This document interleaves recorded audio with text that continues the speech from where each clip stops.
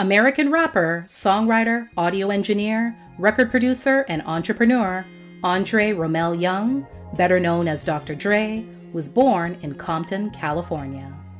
His first taste of the limelight came as a member of electro hip hop group World Class Wreckin' Cru during the 80s. He would find even greater fame several years later as a member of hip hop group NWA. The group would release two albums before Dre decided to strike out on his own. He released his solo debut studio album titled The Chronic in 1992 on Death Row Records, a label he co founded and co owned. Several years after that, he left Death Row to start his own label, Aftermath Entertainment, and would go on to sign several future superstars in the hip hop genre, such as Eminem and 50 Cent. He also played an instrumental role in the careers of many other artists, such as Tupac, Snoop Dogg, and The Game.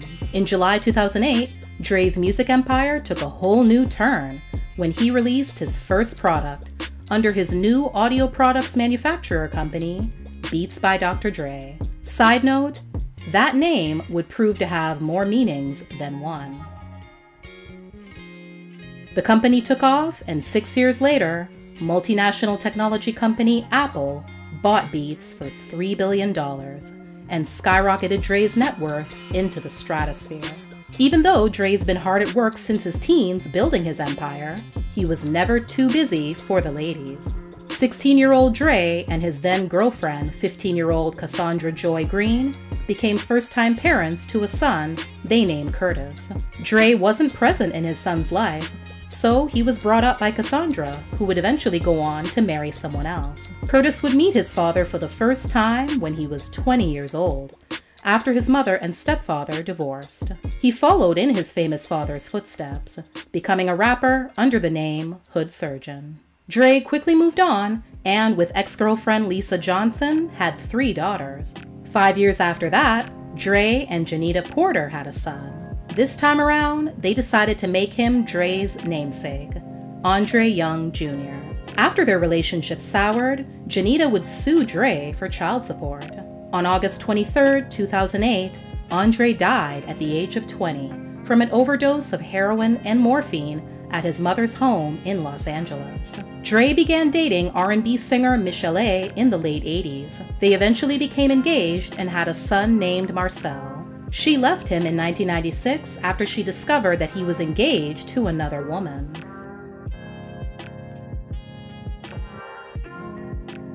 In the years following their split, Michel'le claimed Dre was physically abusive to her during their relationship.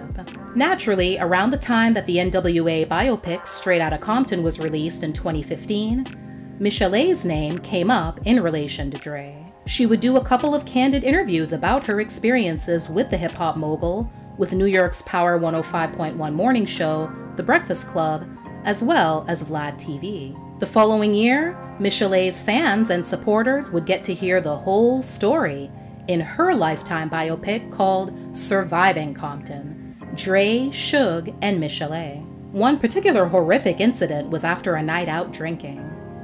Dre came home and beat her out of her sleep. He apologized and they cried together in bed. However, the abuse continued. Journalist and former host of the Fox hip hop video show Pump It Up, Dee Barnes, also knew all too well about Dre's abusive nature. She spoke about an infamous 1991 assault over an interview she did with rapper and fellow NWA group member Ice Cube. The segment featured a crosscut between members of the group dissing their former partner, who had left the year prior following a bitter financial dispute, and a previous interview with Cube in which he badmouthed them. The members of NWA thought the interview made them look bad, and they were going to do something about it. A couple of months later, at a record release party in LA, Dre confronted Dee. According to her, he picked her up and began slamming her face and body repeatedly against a wall as his bodyguard held off the crowd. He tried to throw her down some stairs but failed, so he began kicking her in the ribs. She initially escaped and ran into a restroom. Dre followed and resumed his attack once he got a hold of her again, punching her in the back of the head. Finally, he and his bodyguard fled the building. None of the members of NWA denied the attack took place. Dre himself even doubled down. People talk all this but you know, somebody with me, I'm gonna with them. I just did it, you know? Ain't nothing you can do now by talking about it. Besides, it ain't no big thing. I just threw her through a door. Dee would later file charges and sue Dre for $22 million. They eventually settled out of court. Dre apologized for his behavior in an interview with the New York Times in August 2015. By 1996, Dre decided it was time to finally settle down and marry the woman he'd been cheating on Michel'le with.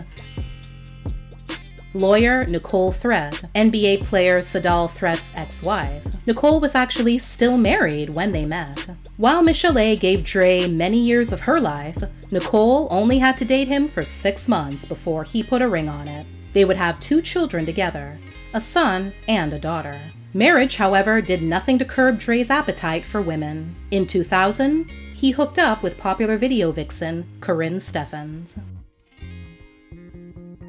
It should also be noted that at some point, Dre had another child, a daughter named Tyra, with another woman. It's unclear whether or not this child was born before his marriage to Nicole or during, since the identity of the mother appears to be a closely guarded secret. Nicole filed for divorce in June 2020, citing irreconcilable differences. A couple of months later, it was reported that she was asking for $2 million per month in spousal support. She also accused him of hiding valuable assets after they split. Interestingly, Nicole, who fiercely stood by her husband's side when he was accused of being physically abusive towards his exes years ago, is now speaking out about the domestic violence she claims she experienced with Dre. She claimed that he even held her at gunpoint on two separate occasions. Dre denied the allegations. At the end of the year, Latanya Young, the eldest of the three daughters Dre had with ex girlfriend Lisa Johnson, broke her silence claiming that she hasn't seen her father in nearly 20 years. She hoped with the divorce pending that her father would be more receptive to fixing their relationship. Latanya always believed that Nicole hindered her attempts to get close to him. On January 5, 2021, Dre was rushed to Cedar Sinai Medical Center in Los Angeles after reportedly suffering a brain aneurysm. It seems only fitting at this time that he would invite another young lady into his life to help lift his spirits. Enter Apryl Jones, baby mama times 2 of R&B group B2K member Omarion. The two were first spotted leaving a restaurant in LA together a month after his medical emergency. It wasn't clear who Dre was with at first, since she was wearing a mask. However, a distinctive tattoo on her hand, identical to the one Apryl has, pretty much confirmed it was, in fact, her. Also at this time, Dre broke his silence on his bitter divorce battle and recent hospitalization in a new snippet of his upcoming album titled Detox. In an Instagram Live video, he featured a two minute preview of an unmastered track that seems to reference the feelings and emotions he's been experiencing during these recent ordeals. Now, back to this dumpster fire of a divorce. In April 2021, a judge ruled that Dre's three alleged mistresses must give depositions in his divorce. The judge believes that each of them may have information relevant to the issue of temporary support and fees, as well as validity and enforceability of the alleged premarital agreement.